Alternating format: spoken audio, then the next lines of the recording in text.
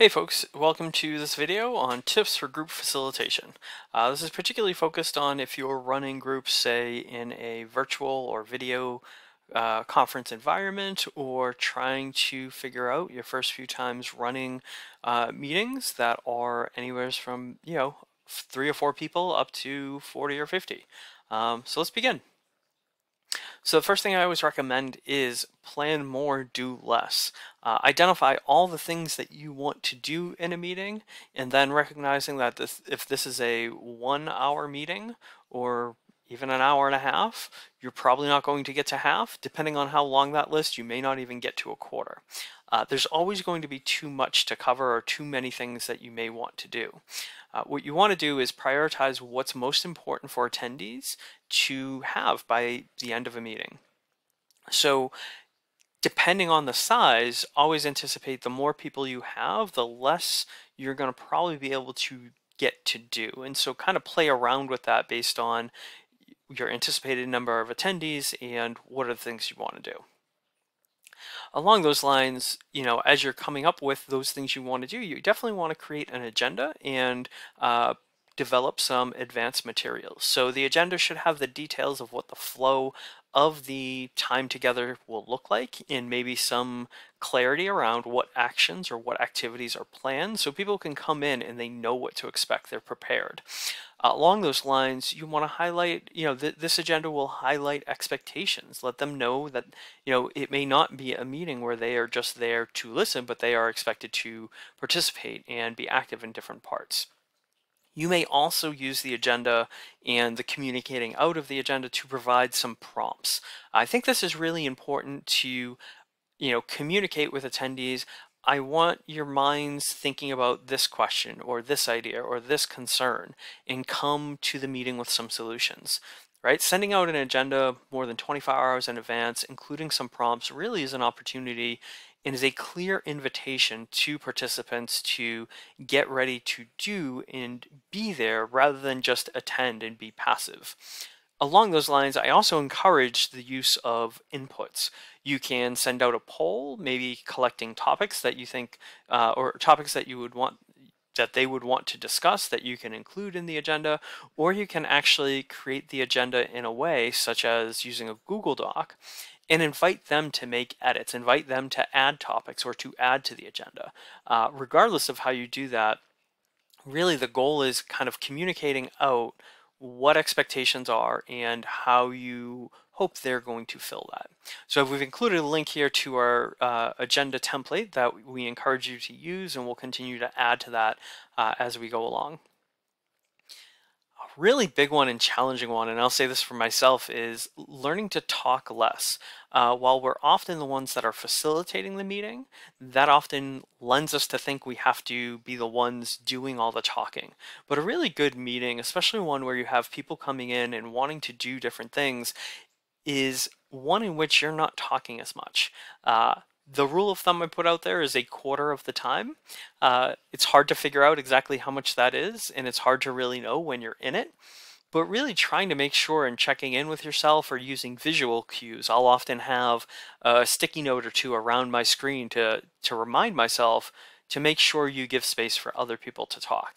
It's hard, um, but you really want to try to make sure you're not the one that's talking through all the meeting. Otherwise, you're indicating that it's your space instead of a group space.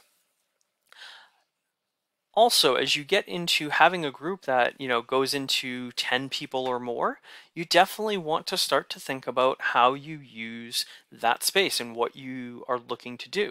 So, for instance, if you are doing check-ins and you have 30 people and you only have an hour, you could very well use up more than an hour. In fact, I've seen this happen where people have used more than an hour uh, to do check-ins and then whatever the goal of the meeting is doesn't necessarily get met.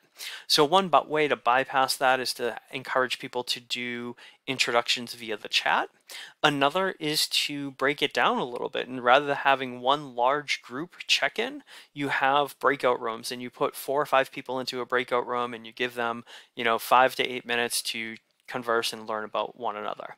You can also use polls, and I find this is also a fun way of, of doing things, of getting information, getting feedback, is if in advance of the if in the advance of the the uh, actual meeting, you go and provide some polls uh, that you can put into the Zoom environment or you can send them out in advance to get a sense of where people are at and then use that as a point of discussion. Uh, you can also launch polls during to get a sense of where people uh, people's thoughts are with, with whatever questions you're asking. But the important thing really is to be thinking about, you know, it's really hard to have a 30 plus person discussion uh, and do anything else in a in a meeting. So think about how you might break that down. You know, a traditional option is think, pair, share, where people think about it by themselves for a minute or two.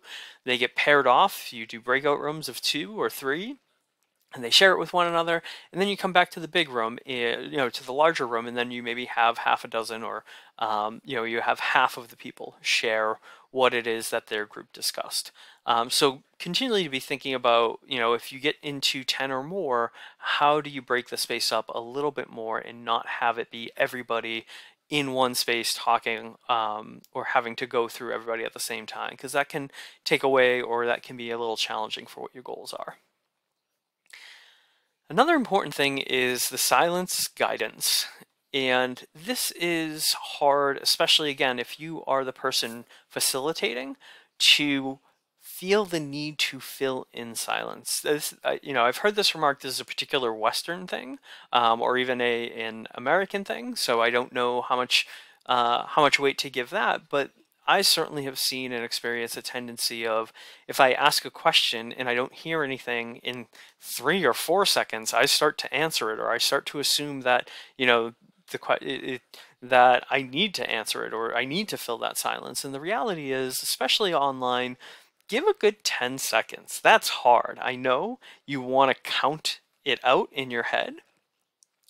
Even if I, even if you give it that 10 seconds and nothing happens, I, I strongly encourage reframing the question and offering that once more time, one more time to wait again. And the idea here is, you know, sometimes the questions come at us and we're not prepared, or the shift um, from whatever we were talking about, or even what we are talking about, doesn't necessarily mean we are very quick to get answers, and we shouldn't necessarily be quick to get answers.